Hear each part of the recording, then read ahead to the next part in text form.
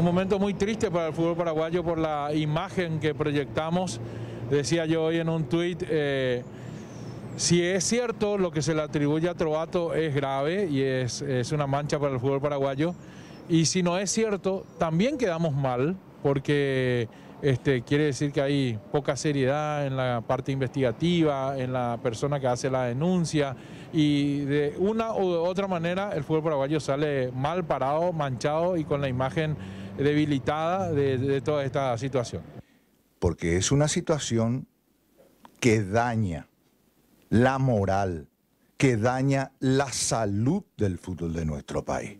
¿Cuál es la información que ahora el mundo se entera? ¿Cuál es la información? De que se amañan partidos en el fútbol de nuestro país. Y miremos las estadísticas. ¿Qué dice la opinión pública? ¿Qué dicen los empresarios en todo el mundo?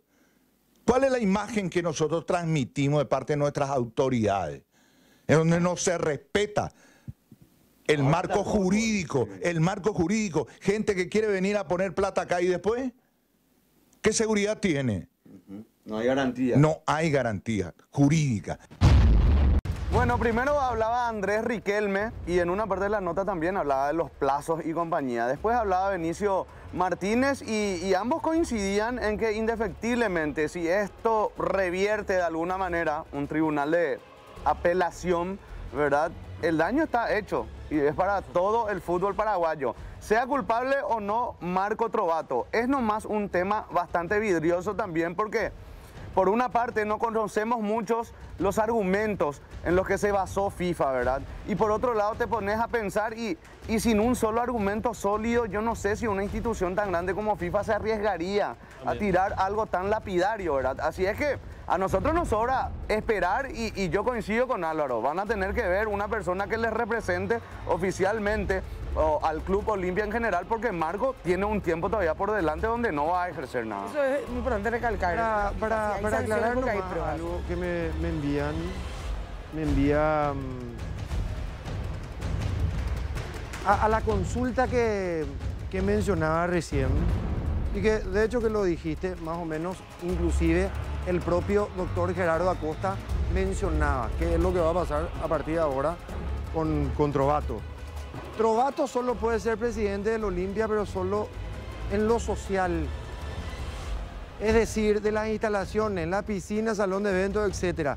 Pero no puede inmiscuirse en nada que tenga que ver con el fútbol. Eh, Otra debe ser la persona designada para eso, y eso es lo que estaba diciendo.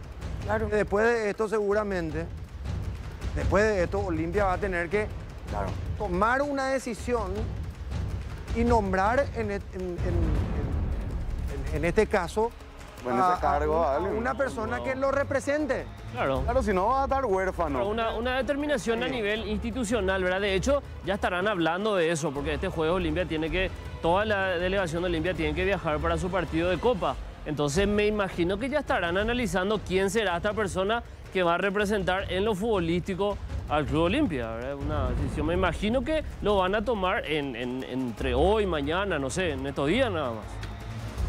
Bien, esa es la situación de, Olimpia y también, bueno, la, situación específica de, Marco Trovato, presidente de la institución. Vamos a ver qué termina todo esto, ¿sí?